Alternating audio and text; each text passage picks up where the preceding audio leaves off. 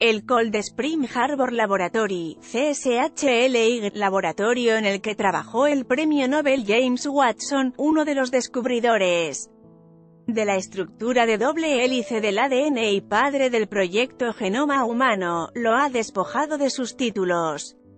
Tras sus comentarios racistas, la institución de Nueva York donde Watson trabajó durante casi cuatro décadas y que tiene una escuela con su nombre, aseguró que con esta medida actúa de forma responsable tras las afirmaciones hechas este mes por el científico en un documental de televisión.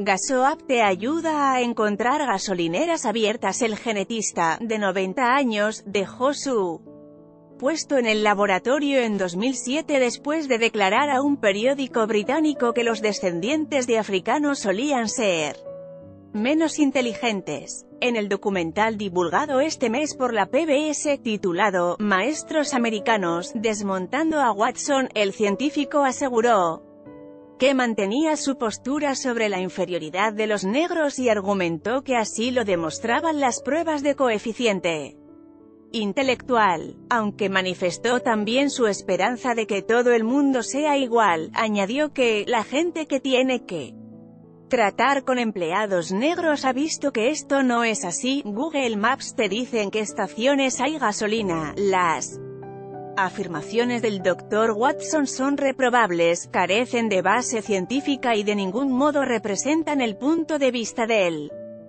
CSHLI, sus fiduciarios, profesores personal ni estudiantes. El laboratorio condena el mal uso de la ciencia para justificar prejuicios, afirmó la institución el viernes a través de un comunicado.